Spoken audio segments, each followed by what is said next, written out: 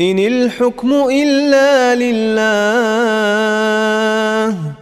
أمر ألا تعبدوا إلا إياه. ذلك الدين القيم ولكن أكثر الناس لا يعلمون.